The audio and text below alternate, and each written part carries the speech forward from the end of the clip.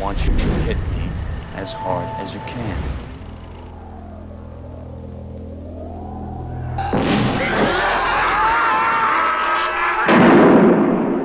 Phantasm. Jimmy O from JoBlo. We're talking one of my favorite movies of all time, Phantasm.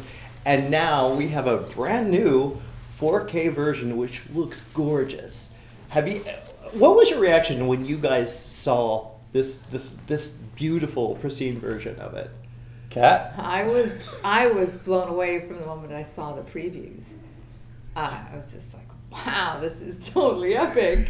You know, compared to '79, wow, you know, it was uh, it was almost majestic. Yeah, it's pristine and beautiful. And I remember watching my old VHS copy repeatedly. Yeah. and it was dark and grainy and but it's how did, when did you guys find out that this was happening that J.J. Abrams was getting involved?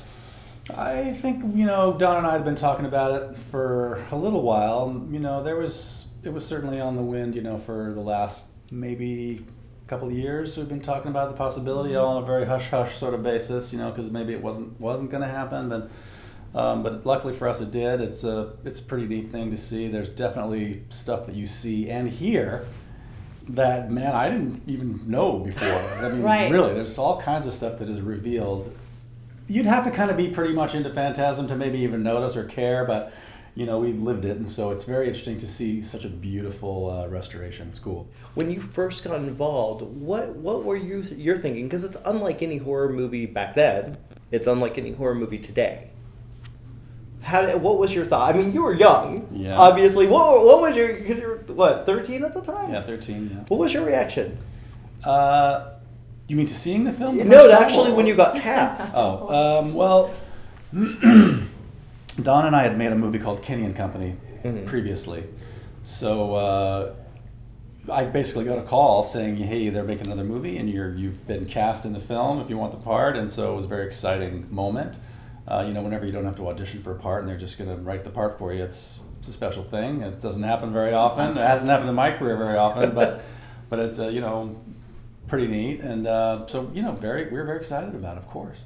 How about you? What what was your what, what did you audition? What yeah, was it? I, I, I came in to uh, read for Don. He read with me. I was in jeans and a t-shirt, and he said, um, "That's all great."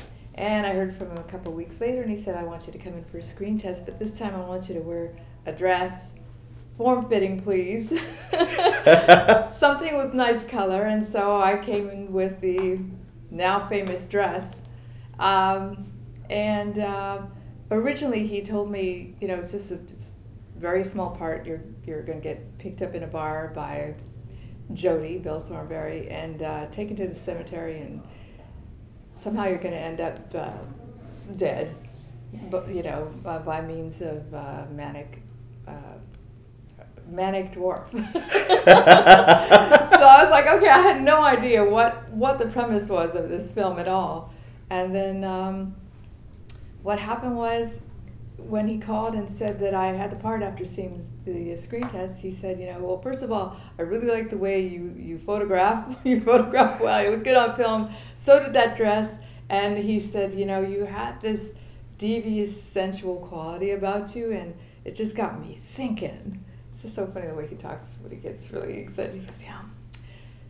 Instead of you being a victim, I'm going to turn you into a villainess, and I'm going to make you the lady in lavender. And I still didn't know what that meant until I saw the screening. And uh, it was after I stabbed Reggie, and I'm standing looking over him, and then all of a sudden, uh, the tall man's face is superimposed on mine. And I was like, oh. it's still yeah, that still is a brilliant reveal. Yeah. Yeah. And I like that. You know what's funny? You go back to that. That was a very different age. That that makeup, which you see so well in the 4K Yes. version, which I don't remember really noticing. Yes. But that is brilliant. That is so 70s and beautiful. That was Don's uh, mother, who, who was the makeup woman, right? yeah, that's brilliant. 70s makeup. And now we're here, 2016, with a new Phantasm movie. Kind of amazing, isn't it? Yeah, I mean that's insane. What what was your thought when you read the script, and, and how did you it's just such a weird thing to see you all together. That doesn't happen in horror franchises ever. No, it doesn't. You know, we're we're a, it sounds a little cheesy, but we're like a family. We've been making these movies for a long time, and all of us are still friends miraculously. You know, in this business, that's also fairly unusual. You know, so we get together, and it's all very relaxed and very easy to do. And you know, filmmaking is challenging; it's hard work and stuff, but. Uh, uh, you know, we're a, we're a special crew, and which makes Angus's passing that much more difficult. You know, Yeah. so um, one of us is uh, passed on somewhere, and uh, uh, it's been a tough year based on that alone. So, it's, Yeah. it's, but it also makes it extra poignant that the film is finished and released now, and um, uh, I, I know that he got a chance to see it before uh, he passed away, and so uh, he enjoyed it very much, and so that's that's cool. Well, it's, it's a really nice. I mean, he, he's left such an impression on the horror world. I, I know mm-hmm. every single horror fan knows who the tall man is. Yeah. Every single one. Yeah.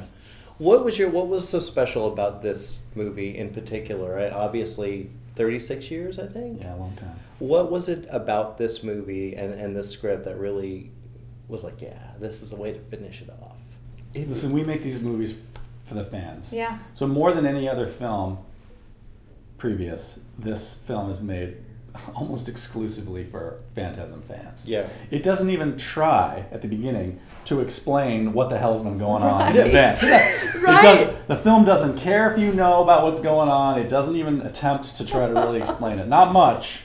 I mean, correct me if I'm wrong, but I'm pretty sure that we just just we just keep going. We don't, Yeah. don't even care. Well, I, to So, me, it feels know. like a, it, it feels like in in many ways the tone of the first film, in mm-hmm. that it just kind of throws you in this world Yeah.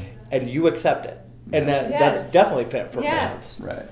So normally in a film like this, you'd have to have a three-minute scene where you explain. Somebody has to explain what the hell's going on, but we don't really. we don't really go. Why that- bother? We don't, we don't Why? go Yeah. Why bother? We just figure if you don't know what's going on by now, well, oh well. That's just the way it goes.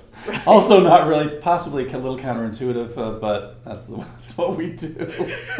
I gotta say, your character, I think, I was I was a kid when I saw the originally, and I really connected to Mike. I, it's a weird Michael Mike. I I really connected to the character. Oh, Do you still look back on playing him? Uh, Is there something that kind of shaped you to playing him uh, in your adult life? In my adult life, Yeah. Well, we step into these shoes pretty easily Mm. after all these years. So, the soul of the show, the soul of the story, in my opinion, is the relationship between Mike and his brother and their best friend Reggie, and it is this uh, this uh, tr- this trio that that is uh, that is really the the magnetic energy that's sort of holding holding the whole thing together. And so it's very nostalgic. And so when you see us all together in the car, or when you know we're fighting for each other, or when there's a reunion scene, it's a genuine. It's a genuine nostalgic reunion, honestly, you know, because Yeah. we were just all old friends, and there we are on set again, and we're doing it again, and so you know, it, it's not a big stretch really, because Yeah. we are all still good friends, you know. So somehow we managed to all still be buddies after all this time. Well, I'm gonna finish up with one question. What is your favorite moment looking back on this whole series? What is your favorite moment? Uh, do you have a moment that really just connects with you and that you always hold dear? I will say this that you know the the, the lifelong relationships that I have been lucky enough to um, develop and maintain because of the franchise.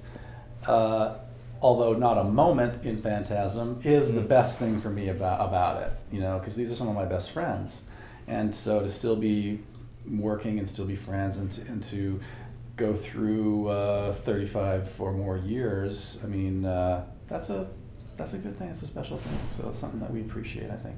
I think so. What about you? That's not really an answer to your question. No, I, but I, I think I know what you're saying because it's you can't. You, there's like you look back on a film and you can't. Oh well, there's a scene we shot, and that's kind of a boring answer. But I, I think I see what you're saying. Plus, Phantasm is like a part of my childhood, a big part of it. So it's more like like looking back on the films and picking a different moment. I was saying earlier, it's a little bit more for me like looking at a family photo album. Mm. You know, in the old days, folks, we had family photo albums, and you had actual pictures that lived inside of an album, and you go like this, and you go, oh, oh. And you, you don't remember that, but believe me, that's how it was. Yeah, some of our originals. So what? What's a, yeah, a what's picture? an album? what's What's a photo? photo Yeah. So um, it's like that. Yeah. It's like flipping through a family photo album and looking at the, the different pictures of uh, your past. It's a different past. It's a different world. You're not that same person any longer. A whole lifetime or two has gone by. But uh, you have the album Yeah. that you look at. Right. from time What? to time. What a hell of an album, though. It's a hell of an album. Yeah. You're right. You've got that right. It's a hell of an album. Yeah. What about you? What? what Well, there, there's there's so many instances that well, when I watched the first Phantasm and then seeing this, it just brings back a lot of memories. Some not so wonderful. They're funny now, but I remember first meeting uh, Mike, and uh, he was quite a prankster. And I found out that he had a, um, a crush on me, and his way of showing it was uh, pretty devious.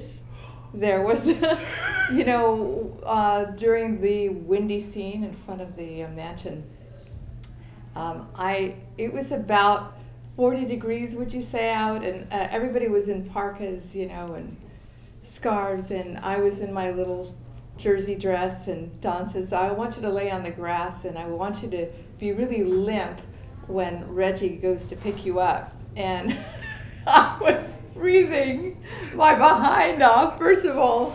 And then good old Mike, he, you know, people were supposed to be throwing leaves into this huge wind machine. It's something that they use in airports to uh, get rid of the, the toxic fumes from jets, airplanes.